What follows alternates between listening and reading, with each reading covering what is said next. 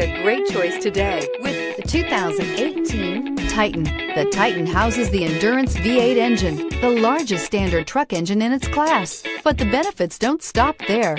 The massive interior cabin boasts a fold-up rear bench seat and a flat loading floor.